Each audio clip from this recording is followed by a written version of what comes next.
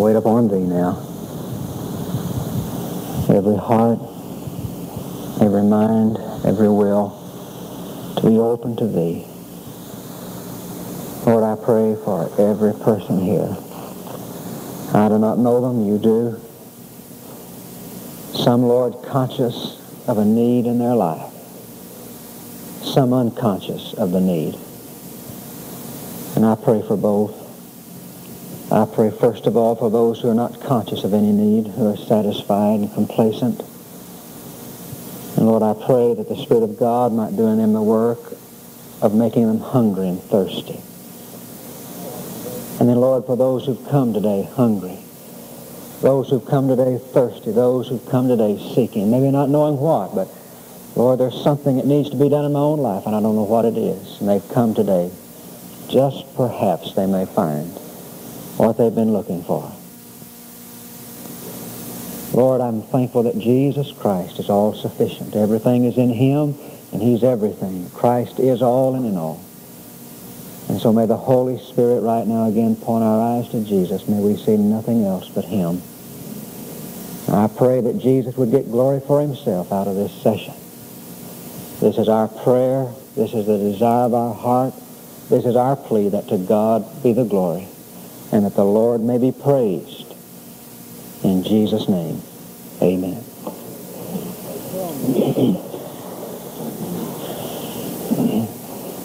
they tell me that it is rude and impolite to ask people personal questions, especially people you don't know real well. You don't uh, ask a man how much money he makes.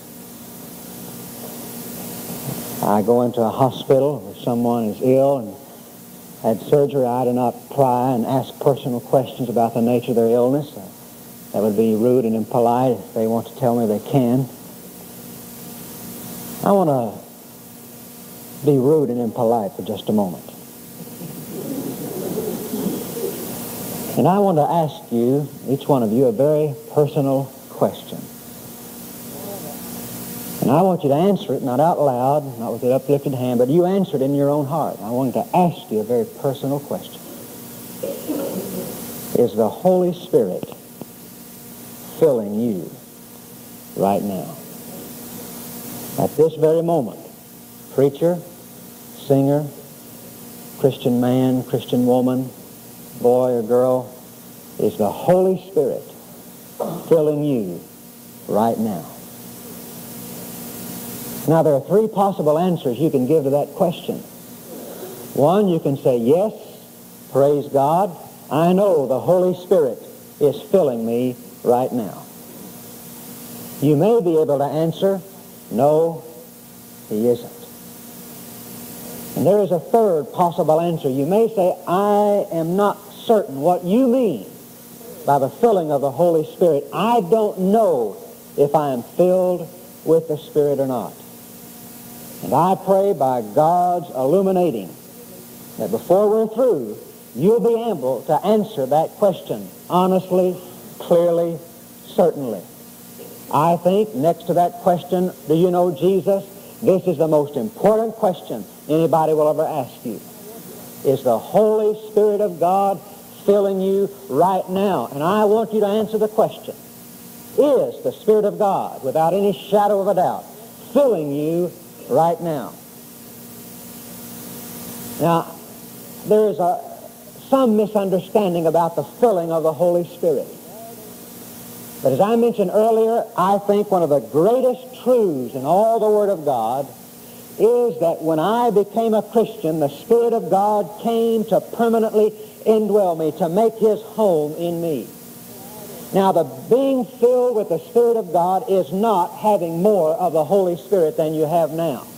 I, have often in times past used that illustration of an empty glass with a little bit of water in it, and I've said, now that water represents the Holy Spirit, and being filled with the Holy Spirit means that I pour more water until that glass is filled. That is not a scriptural illustration.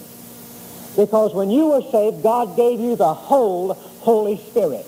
And I think one of the grandest truths of all is that I have all of God dwelling in me right now. I don't have just a little bit of God in me and a little bit of God in you and a little bit of God in you like God kind of spread himself thin, you know, and passed himself out to all of us. I have all of God in me and you have all of God in you and you have all of God in you. When the Spirit of God came to indwell you, the, the whole Spirit of God came to indwell you. And you know, it takes that to save you. A half of God in you could not save you. That little daisy growing out yonder needs the whole sun to keep it alive. You say, well, such a little flower doesn't need all of that sun, doesn't need all of that light. But if you were to subtract half of that sun, that little flower would die. It takes the whole power of the whole sun to keep one little blade of grass alive. And it takes the whole God, all of God, all God there is in you to save you and to sustain you. Being filled with the Holy Spirit is not having more of the Holy Spirit than you had before. Paul commands us in Ephesians chapter 5 and verse 18, and this is my main text this morning. We're going to be using several other verses, but this is the main one. Ephesians 5.18, Paul said, And be not drunk with wine, wherein is excess, but be filled with the Spirit. To be filled with the Spirit. What is the filling of the Holy Spirit? First of all, the filling of the Holy Spirit is a command of God. It is a command of God. You know that that verb is in the imperative mood. It is a command. It is not a suggestion. It is not a wish, but it is an undeniable and unalterable command of God. Be filled with the Spirit. And it's in the plural. He's not talking to super saints. The filling of the Holy Spirit isn't for the hierarchy of heaven. It's not for the uh, elite of the elect. It's not just for preachers and evangelists. It is for everyone. And God commands every person who is saved to be filled with the Holy Spirit. The first thing that you and I need to understand is that this filling of the Spirit of God is not an optional item. It's not luxury equipment in the Christian life. It is standard equipment in every Christian life if he is to be effective and to bring honor and glory to the name of the Lord Jesus Christ. It is a command to be filled with the Spirit. Now, if it is a command for me to be filled with the Spirit, then if I am not filled with the Spirit, I am living in sin. Did you know, has it ever occurred to you that it is a sin for you not to be filled with the Holy Spirit? We need to be convinced of this, and we need to be convicted of it. I think a great many people in our churches think that it would be nice if they could be filled with the Spirit, and they would love to be filled with the Spirit, but it's not absolutely necessary, and I doubt if very many people are convinced and convicted that not to be filled with the Spirit is a sin against God. But it is. It is just as much a sin against God not to be filled with the Spirit as it is to be drunk with wine. Now, I don't know any other way to read that 18th verse in that way. There are two commands in that verse. One is a negative command, and the other is a positive command. The same God made the same both commands. The same Spirit inspired both commands. It is a sin not to obey the command of God. With one breath, Paul says, don't be drunk with wine. With this, another breath, he says, but on the contrary, and in contrast to that, be filled with the Holy Spirit of God. Not to be, to be drunk with wine is a sin against God. And not to be filled with the Spirit is a sin against God. What do you do when you ordain deacons in your church? Bring them together, question them. Got to make certain that these men fulfill the scriptural obligations. Do you tithe? Do you drink wine? Are you the husband of one wife? Did you know, according to Acts chapter 6, that it's just as much a qualification for a man to be set apart for service, to be filled with the Spirit of God, as it is for him to tithe? Actually, it's more of a qualification because the Bible never tells the deacon he has to tithe. You'll never find that as a qualification for a deacon. Every Christian ought to, but it's not listed in the qualifications. Let me tell you what to do to kind of get things going in your church. The next time you have a deacon organization or ordination and you begin to select men, you stick to the Word of God and bring the level of your experience up to the standard of the Word of God and demand that no man be ordained unless he knows that the Spirit of God is filling him with the Spirit.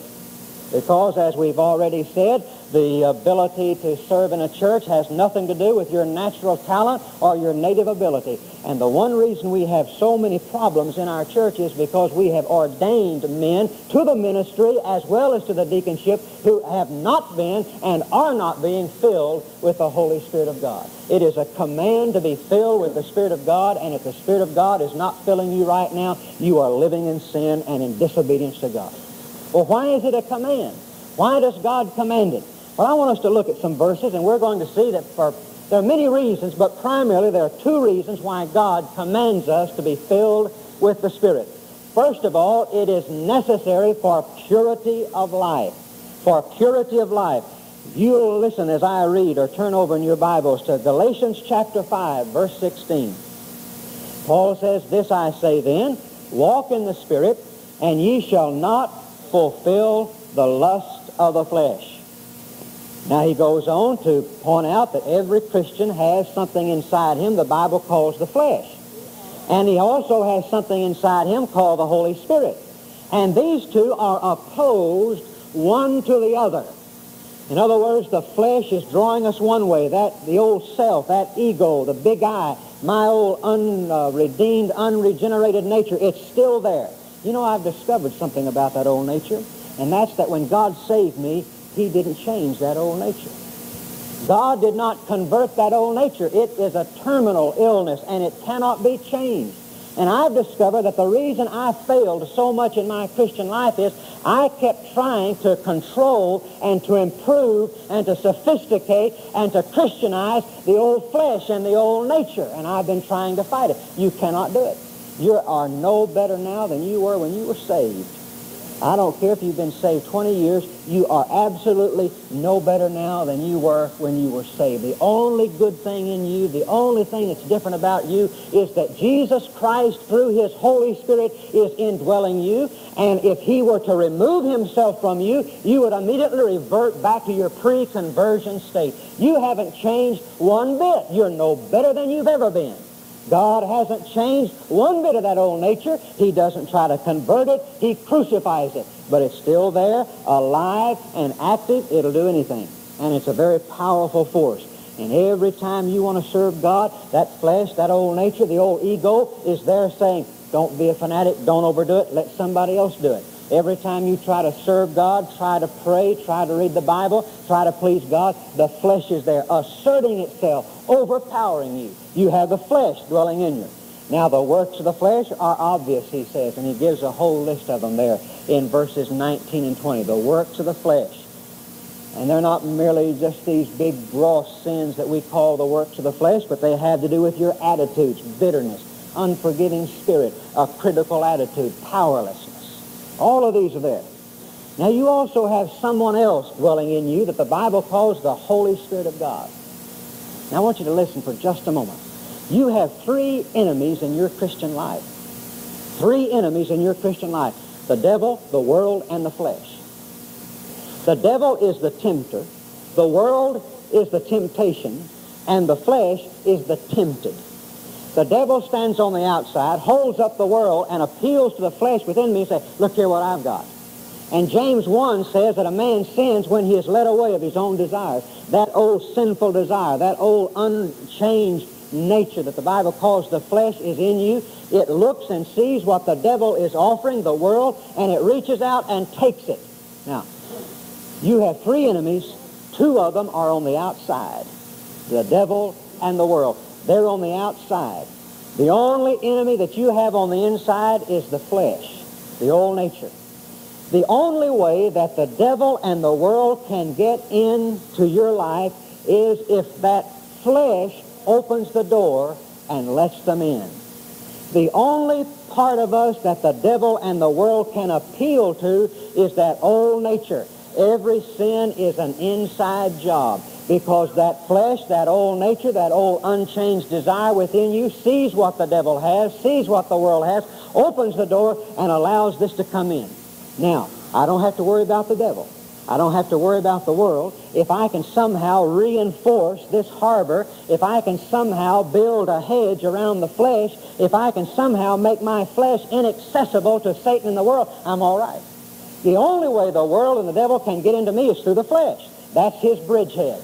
That's my vulnerable spot. That's the only spot the devil can reach me. And every time he tempts me, he appeals to that old lower nature. The same with the world. So, my problem is the flesh, the old nature, the big I, my ego, self. And if I can somehow reinforce that and get victory over that, then victory over Satan in the world will follow. All right, here's what Paul tells us. This I say then, walk in the Spirit, and ye shall not by no means. That's what the Greek says, bad grammar but great theology. Ye shall not by no means fulfill the lust of the flesh, the desires of the flesh. And I want to ask you, do you believe that? You shall not by any means whatsoever fulfill the desires of the flesh. All right? It is walking in the Spirit. It is living in the Spirit. It is the power of the Holy Spirit controlling me and filling me that conquers the flesh in my life. Now I want you to notice who fights the flesh here. Who fights the flesh? Most of us have been fighting the flesh, educating the flesh, taking study courses, making rules and regulations, trying to somehow buttress the flesh. We've been fighting the flesh and we miss it every time. Notice who fights the flesh? The Holy Spirit. The Holy Spirit fights the flesh. I don't have anything to do with the flesh. If I try to fight the flesh, he'll overpower me. The Spirit of God fights the flesh. I step out of the way, take myself out of the picture. That's reckoning yourself to be dead. I get out of the picture and allow the Holy Spirit to take in, and he fights the flesh and he overcomes every time. But I tell you, it's a fixed fight. It's a fixed fight. Because I say who wins. Every time the flesh and the spirit get in the ring together, I pick the winner.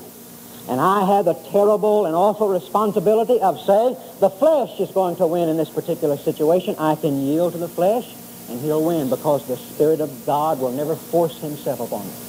Or I can say I am going to yield to the Holy Spirit and the, when I do that, what I do is untie the hands of the Holy Spirit and I loose him and let him go and he defeats the flesh.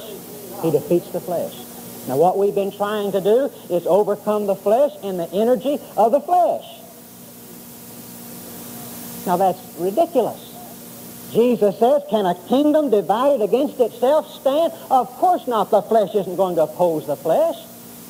And so in the energy of my flesh, you know, when I was saved, somebody said, all right, now, Ron, the next thing to do is to go out there and do your best for Jesus. We stand up and sing, hear you the master's call, give me your best. I'm going to do my best. Well, I've done my best. And the flesh never opposes itself. And I want you to notice how beautiful this is. The Holy Spirit fights the flesh. And if I walk in the Spirit, that means if I let my daily life be controlled and ordered by the Holy Spirit, I will not by any means fulfill the desires of the flesh. Now I want you to see something in verse 22. But the fruit of the Spirit is love. Now, do you agree with me that there Paul is picturing the Holy Spirit as a tree planted within the Christian. Right? The Holy Spirit who dwells within us will produce fruit. So the picture is a tree planted within the Christian. And this tree wants to bring fruit of love, joy, and peace. But I've got a lot of old dead leaves of fornication, uncleanness, idolatry, hatred, and envy. How can I get rid of that old dead works of leaves and spoil fruit? And how can I have the blessed sweet fruit of the Holy Spirit produced in me? Well, I discovered something. I discovered that dead leaves don't fall off a tree. I always thought they did. Come autumn, the leaves turn, they die, they fall off the tree. No, they don't fall off the tree. You go out here and you cut a branch off a tree, and let it fall down on the ground and let it lay there beside that living tree. Now, as the seasons pass, the leaves will brown. And on that living tree, those dead leaves will begin to fall off. But you look at that branch on the ground, unless you pull them off or knock them off, they're still there. They don't fall off. They don't fall off. You know what happens to dead leaves? They don't fall off. They're pushed off. They're pushed out as the sap, as the life flows through the branches. It pushes out those dead leaves to make room for the fruit and the new leaves. Now listen, Here's what some of us have been trying to do in our Christian life. We've been going around pulling off dead leaves. Pulling off dead leaves. We've been saying, I've got to get rid of this dead leaf of, of bad habit. I've got to get rid of this dead leaf of filthy language. I've got to get rid of this dead leaf of an impure mind. We've been going around pulling off these dead leaves. That's not the way to do it. Oh, it's so simple. All I have to do is just to yield myself to the Holy Spirit and allow Him to flow through me and to fill me and allow Him to fill me with the fullness of Christ. And as the life of Jesus and the power of the Spirit flows through me, it just pushes off those old dead leaves. They just fall off, pushed out by the power of the Holy Spirit. What we've been doing is focusing all of our attention on our failure. That's the trick of the devil. You focus your attention on your weakness and your failure, and you'll go on that way. You forget about your failure. Don't look at your sins and forget about your habits, and you focus your attention upon Jesus Christ and on the power of the Holy Spirit. And as He infills you and as He flows through you, He will push off all of those dead leaves. You won't have to worry about it. That's His business. I read over in John chapter 15 that I'm the vine, you're the branches. My Father is the husbandman, and He will do the pruning. Oh, I thought I was supposed to do the pruning. Man, all my life I've been going around pruning shears trying to clip off the bad things in my life. And all of a sudden I realized the Father is the husband. He'll do that. He'll do that. Listen, you need to be filled with the Spirit for purity of life, for purity of life. You've been trying to overcome habits and overcome weaknesses, and you'll never do it. You'll never do it. Let the Spirit of God fill you, and as He produces love, joy, and peace in you, He'll just naturally push off those old dead leaves of sins. Necessary for purity of life, necessary for power and service. I love old Elijah. Boy, I feel with him. I identify with Elijah for one reason. He was on Mount Carmel. He brought one of the best sermons I've ever heard. It was eloquent powerfully delivered. And when he finished, the Bible says the people answered him not a word. Oh, I've been in that church, haven't you? Oh, I preached there many a time. You just preach your heart out and the best you know how, and you get through and they just they don't say amen. They don't say praise the Lord. Nobody gets saved. Nobody mad. Nobody glad. Nobody sad. Nothing.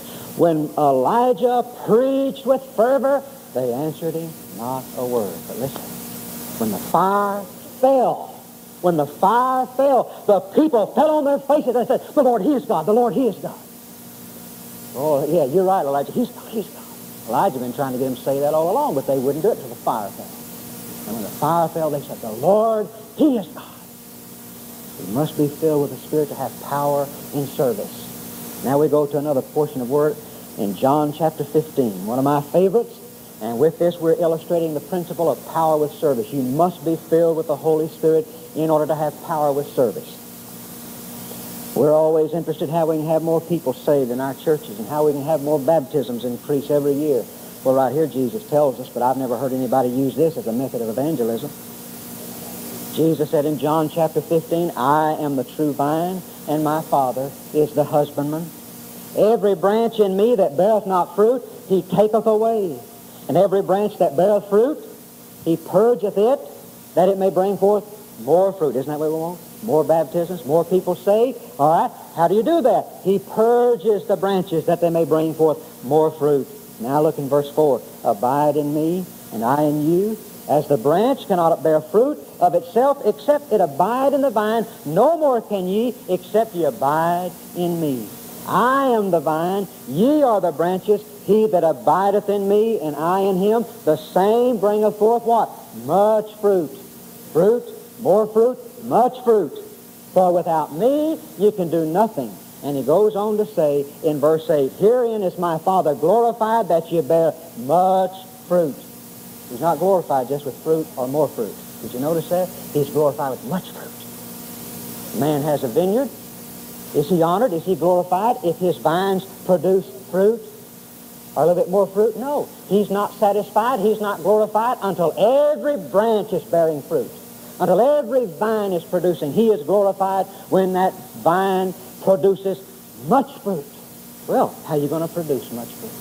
Listen, Jesus said, I am the vine, ye are the branches. Abide in me, and you'll bring forth fruit. Now listen. Here is the relationship that the Christian has with Jesus. Jesus is the vine. I'm just the branch. Did you know the branch doesn't produce fruit? The branch simply bears the fruit. The fruit is produced by the vine, the life flowing through the vine. The branch is just a coat rack to hang grapes on. That's all the branch is for. It just it must be there so it can bear fruit. It never produces fruit. It never produces fruit. It cannot produce fruit. And you and I cannot produce fruit and I can't produce it, and you can't produce it. Jesus produces it. He said, all I want you to be is just a branch. Just make yourself available. You just abide in me. Now, where is the responsibility for fruit bearing? On the branch? No, on the vine. Where's the responsibility for fruit bearing in my life? On me? I used to think so, and I worked myself to death and then worried I hadn't done enough. Until I discovered that the responsibility for fruitfulness is not on me, it's on Jesus. He is the vine. All he asks of me is to be a branch. And what does a branch do all day long? It abides in Jesus. And it lets the life of Jesus flow through him, and the life of Jesus, as it reaches through me, touches the lives and transforms them. Now, how are we going to have more fruit? How are we going to have more baptisms? Well, if baptism's in the church down, let's organize a new committee. Let's come up with a new program. Let's go hear this man. He baptized so many a year. Maybe he's got some secret formula, some method. I want us to look at the method of Jesus.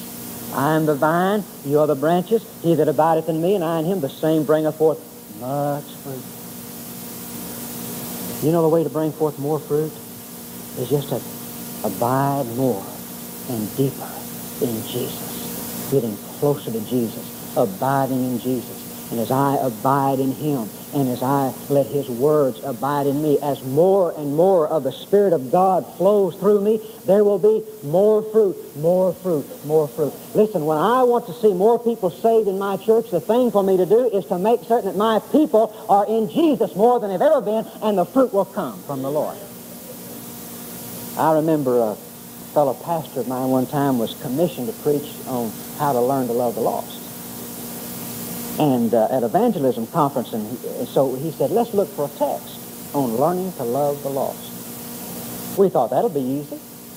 We found a lot of verses that told us why we ought to learn, love the lost. We found a lot of verses that showed us what would happen if we did love the lost, but we could not find one verse of Scripture that told us how to love the lost. And that's why a lot of people don't witness. They say, I just don't love the lost. We say, pray, Lord, give me a love for lost souls. And then the Lord showed me over in John. You remember when Jesus had his little breakfast talk with Simon Peter?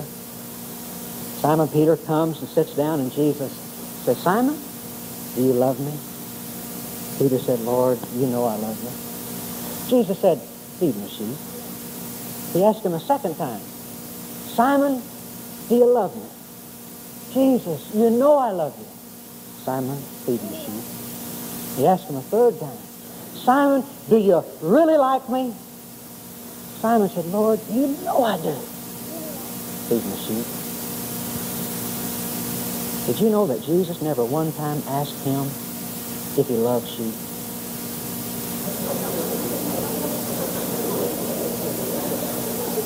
I can just imagine old Simon Peter. Jesus said, Simon, feed my sheep.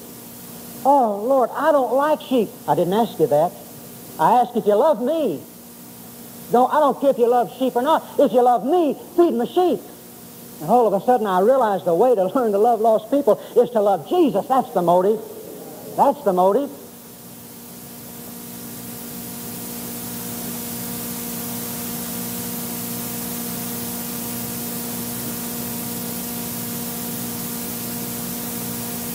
That's the motive, and I want to tell you this morning the most useless preaching I've ever done in my life. The most useless preaching I've ever done in my life is as I stood on Sunday morning and Sunday night and told my people, you better win souls, you ought to win souls, you need to get out and win souls. They knew that, and they wanted to. They were scared to death. They lacked motive. They lacked power. And I'll tell you something else. Nearly every Baptist has a guilt complex because he doesn't win souls and he knows he ought to. The pastor gets up on Sunday morning and adds to that guilt complex and intensifies it and says you ought to witness and you ought to win souls. They know that. I believe honestly that most Christians, they want to do it, but they don't know how. One day God showed me what it was all about. He said, listen, you quit trying to get them to win souls. You get them to love me and let me be Lord and let the Spirit of God fill them. I'll take care of all that other stuff. And when our people begin to love Jesus and when they begin to enthrone Jesus as the Lord of their life and they begin to appropriate the fullness of the Holy Spirit, they went out everywhere witnessing and sharing Jesus Christ. That's the answer. That's the key right there. And you must be filled with the Holy Spirit for power and service. Because you see, one of these days, all of us are going to stand before the Lord at the judgment seat, and He's going to give us rewards or loss of rewards according as our work shall be. Jesus, Paul says in 1 Corinthians chapter 3, the Lord shall try every man's work of what sort it is, not what size it is. The judgment seat of Christ is concerned with quality, not quantity. And there are two sorts of work. There are two kinds of work he describes in that passage. One is that which is wood, hay, and stubble, and the other is that which is precious gems and uh, gold and silver. Those are the only two sorts of work. And every man builds on the foundation of his salvation a superstructure of Christian living made out of either wood, hay, and stubble or precious stones, gold, and silver. Now, there are only two kinds of good, human good and divine good, right? God rejects all human good. There's only two kinds of energy, the energy of the flesh and the energy of the spirit. God rejects the energy of the flesh. Everything that I do in the energy of the flesh, or in other words, everything I do without the fullness of the Spirit, constitutes wood, hay, and stubble. I go to that judgment seat, and we all go together, and I look over there, and I see a big old stack of works with my name on it. Mm. Well, I can hardly wait till I stand up before the Lord, and He rewards me for that. Look at that. Look what I've done. Look how many I baptized. Look what I did. That big old stack. You say that's yours over there? Well, that's all right. You made it in heaven anyway. It's kind of small. Yeah, I believe I see it. Yeah, there it is. Your name tag is bigger than your pile of work. Yeah, there it is. Well, it's all right. So the Lord reads my name, and the closer I get to that big stack of works, all of a sudden I become aware of something. I stand there, and it's wood, hay, and stubble. And the Lord Jesus Christ strikes the match and sets the fire to it and says, let's just see if you lived in the spirit and the flesh. Let's see if you preached and sang and taught and witnessed for my glory a year ago. And he touches the fire to it. He comes over here to this little fella, little, little pile of gold and silver and precious stones, and he says, let's test yours and strikes the that. It doesn't hurt because that's how you make gold, silver, and precious stone with fire. I want you to know this morning, and it is a solemn fact, a very solemn fact, that it is highly possible that a man can live all of his life as a minister of the gospel, or preacher, or deacon, and work and work and work and work and stand before Jesus at the judgment seat of Christ and have his entire life of Christian service lost. I believe that with all of my heart. And it, the, the key is not building bigger churches because sometimes you're just building bigger haystacks. That's all. It's got to be done in the power of the Spirit if it's going to stand the test. And I want to know this morning if you were to stand before Jesus Christ at this moment and he were to test your life, has your life been lived in the fullness of the Spirit or in the energy of the flesh? And if your life has been lived in the energy of the flesh, it's going to be wasted and it'll go up in smoke. And you shall be saved yet so as by fire. You will be like a man who is awakened in the middle of the night and they say, your house is on fire, run for your life. And you get out and all you escape with is just the sheet wrapped around your body. And you look back and your whole life savings, your life's work, your home, everything, all of your possessions goes up in smoke. I say that's a very solemn truth. That a man's ministry, a Christian's entire life of service, can be lost at the judgment seat of Christ unless it is done in the fullness of the Spirit. All right? It is a command. Secondly, and more briefly, it is a command to be controlled by the Spirit. Let the Spirit of God fill you. That's a passive verb, and the New English Bible, I think, translates it properly. Let the Holy Spirit fill you. You see, that puts the reluctance on our part, not on His part. Some of you have never been filled with the Holy Spirit because you think God is reluctant to fill you, and you beg Him and plead with Him and hope that someday you'll grow up into the filling of the Holy Spirit. Listen, you do not grow up into the filling of the Spirit. You grow from the filling of the Holy Spirit. There is no spiritual growth until you are filled with the Spirit. Now, you may grow in knowledge and may grow in church membership and church activity, but spiritual growth comes only after the filling of the Holy Spirit. You do not grow towards the filling of the Holy Spirit. Maybe one of these days I'll attain to it. No. You have, you appropriate the filling of the Holy Spirit, and then you grow from it. What does it mean to be filled? It means to be controlled.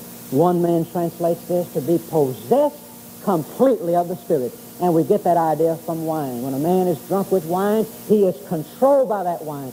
And to be filled with the Spirit is to have the Holy Spirit controlling you. You say, I'd love to be filled with the Spirit. Would you? Would you really now? Would you really like to have a person controlling you that would not tolerate any self-centeredness in your life? Do you mean that you really want to be controlled by a person who will not tolerate any thinking of self first? Do you really want to be controlled by a person who will not tolerate any envy and jealousy?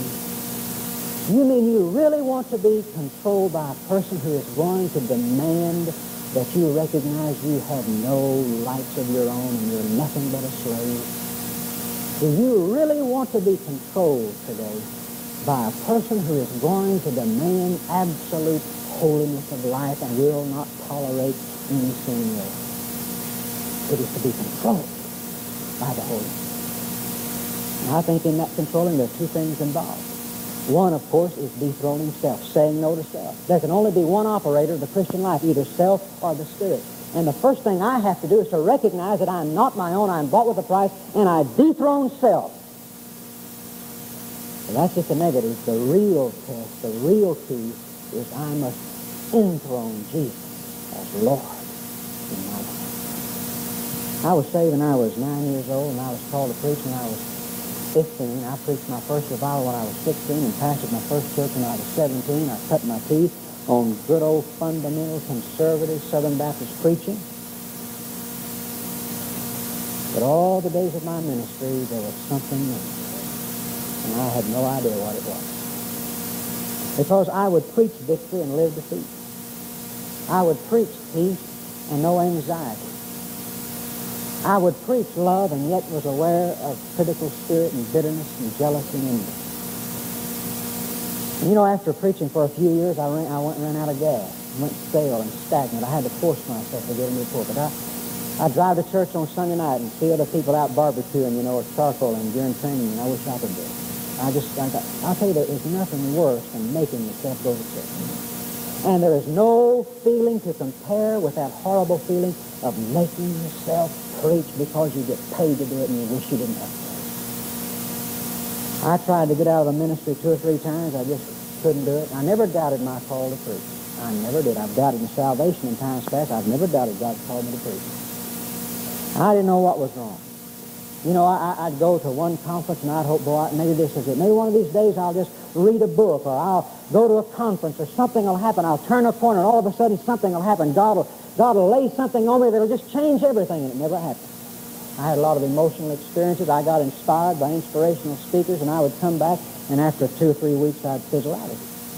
Back down in the valley. I remember kneeling in my office many a time and saying, Lord, I don't know what it is I need, but I need something. I don't know what's wrong, but I know there's got to be more to it than this. And I just said, Lord, would you do something? Lord, just do something for me. Do something in me.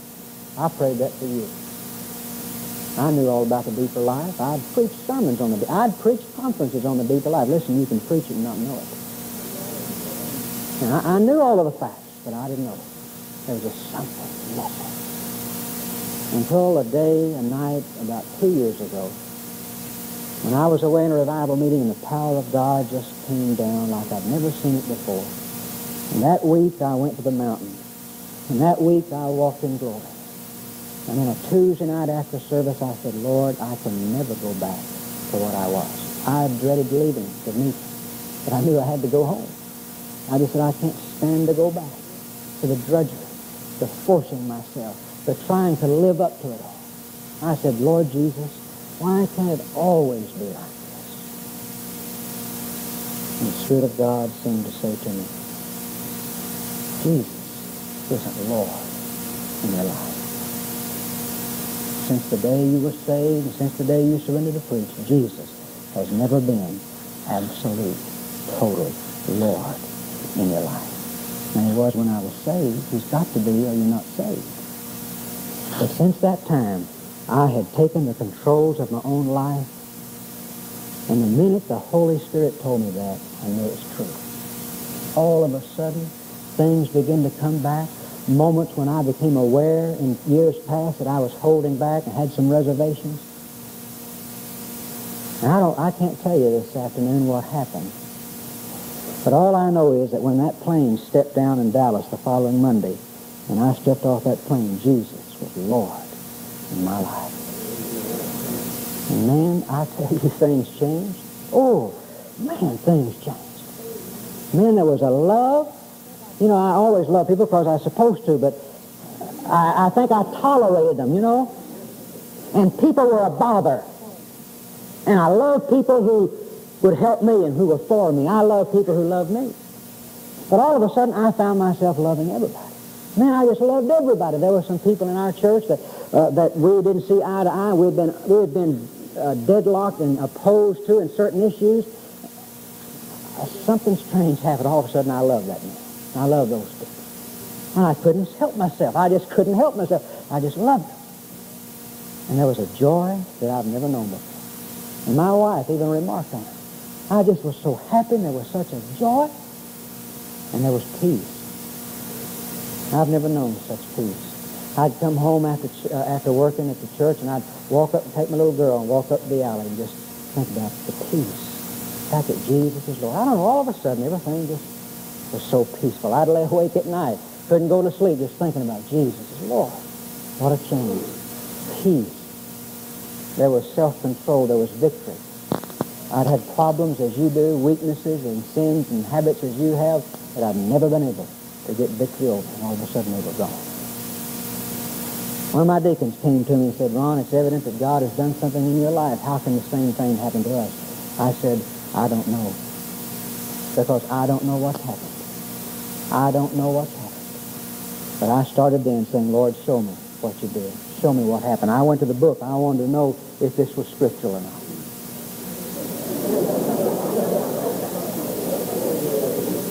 And I wanted to know. I said, God, teach me. I need to tell my church this. Because when I came back on a Wednesday night, I wrote every member of my church, and I said, I want you to come. I want to tell you about the revival. And I told them about that revival, and I told them about mine. I told them that Jesus was Lord, and that I wanted him to be Lord in this church. And if people didn't want Jesus to be Lord in this church, they can go somewhere else. We want Jesus to be Lord in this church. And I finished, and I didn't give an invitation or anything. I just dismissed them. I stepped down, and the congregation as one lined in a long line and came to me and said, Praise the Lord, we're with you. And I thank God for a church that didn't turn me off, but said, We want what you've got. I said, Lord, I've got to tell these folks. They're wanting to know what happened. I don't know what happened. Lord, show me. You know what I discovered? When I made Jesus really Lord, there was love, there was joy, there was peace. You know what that is? That's the first three things mentioned in the fruit of the Spirit. What happened was, when I made Jesus Lord, really Lord, after the Holy Spirit had awakened me to my need, he has to do that. Just saying it doesn't make it so. The Holy Spirit must reveal to you the need and awaken you to the need. And when I made Jesus Lord, you know what happened? The Holy Spirit filled me. And it's made all the difference in my life. Made all the difference in my ministry. Made all the difference in my home. I discovered that you can't fulfill Ephesians 5, 21, 22, 23 about wives, submit yourselves to your husbands, and husbands, love your wives until you're filled with the Spirit. That follows verse 18, did you know? That is a result of being filled with the Spirit. Made all the difference in our home. We have a new home. I've got a new church. Church has a new pastor. I've got a new Jesus, a new Lord. All things were new. And the filling of the Holy Spirit to control. Now in closing, let me mention this one last thing. To be filled with the Spirit is a command of God. It is a command to be controlled. And it is a command to be continually controlled. That verse literally reads, and be ye being filled with the Spirit. It's not a roller coaster type of existence, friends. I'm not talking about a little inspiration now and then. I'm not talking about a little holy kick once in a while. I'm talking about a daily walk, a daily abiding in Jesus, continually filled with the Spirit. That's why I phrased the question, not has the Holy Spirit filled you, but are, is the Holy Spirit at this moment filling you? Is he at this moment controlling you? Is he? And I've discovered that my own life there are two ways for me to continue to be filled with the Spirit.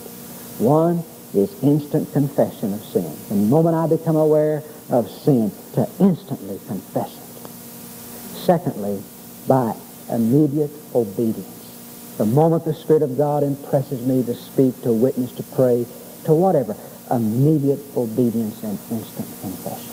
And it is a continual filling that the Spirit of God wants to give us. Now let me ask the question again. Is the Holy Spirit of God filling you right now? Is he? Is the Holy Spirit of God filling you right now? By that I mean, is the Spirit of God in absolute sovereign control of you right now? He's not in control if there's any unconfessed sin, if there's any disobedience, if you know of a command in this Bible that you're not obeying, He's not in control. If there's unforgiveness, if there's any abs, any sin at all, the Spirit of God is not in control. Is the Holy Spirit filling you, controlling you right now? Let's bow for prayer.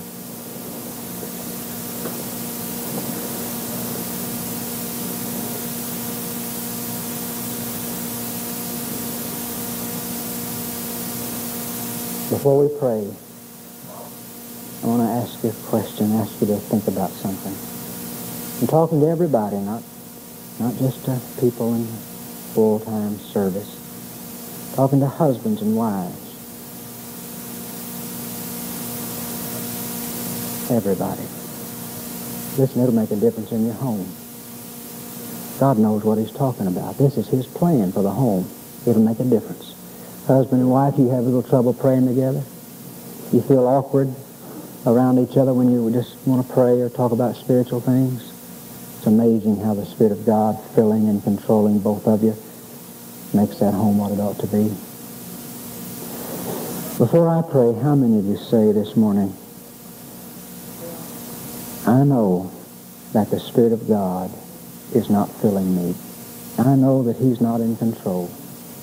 Or it may be in times past you were filled with the Spirit, but self, ego has got back on the throne. And you know this morning that the Spirit of God is not filling you. But you want Him to, and the Holy Spirit has showed you that. And you want right now God to touch your life. And you want, as best you know how, to just say no to yourself and to enthrone Jesus Christ as Lord and claim by faith the filling of the Holy Spirit. You want God to touch your life. You know that you're not filled with the Spirit. The Spirit is not filling you right now, but you want Him to. Would you lift your hand? God bless you. God bless you. Now let's pray together. Lord Jesus, I pray now for each one whose hand was lifted. Lord, there's no magic formula about this. It's really very simple. The Holy Spirit wants to exalt and glorify Jesus in every facet of my life.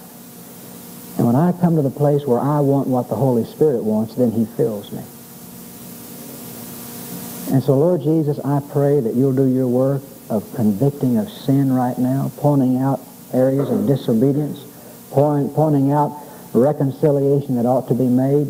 Need to go to somebody and say, I'm sorry, I apologize. Perhaps restitution needs to be made, something that was taken. But Lord, just reveal to us ourselves and that Jesus Christ is an absolute Lord.